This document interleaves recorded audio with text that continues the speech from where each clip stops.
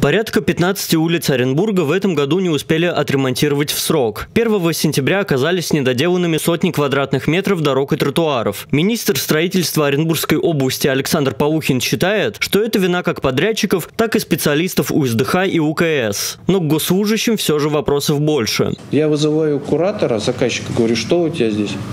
Он говорит, у нас их нет, не знаю, что делать. Я говорю, ну подожди, так оставим. Дорожники выросли, а заказчики не растут. И вот эту проблему мы будем решать и в этом году, и в следующем году. Поэтому принято решение, что наше министерство вот ну, этим занимается. Поднимался и вопрос ремонта улицы Автодромной. Недавно жители СНТ Росташи-3 сами приступили к заделыванию ям и выбоин на этой дороге. Поэтому привести ее в порядок чиновники решили незамедлительно. Дорогу отремонтируют капитально, в четыре слоя. Четыре с половиной километров будем делать тремя ресайклингами. А, конкурс состоялся. А, сейчас проходят процедуры по подписанию контракта.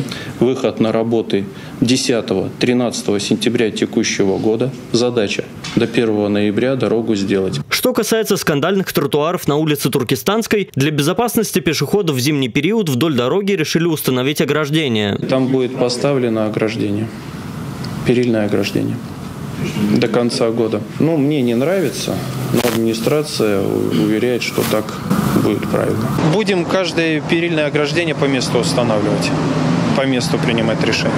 Надеюсь, поменяем подход по уборке города в этом году, я имею в виду зимний период, в осенне-зимний период.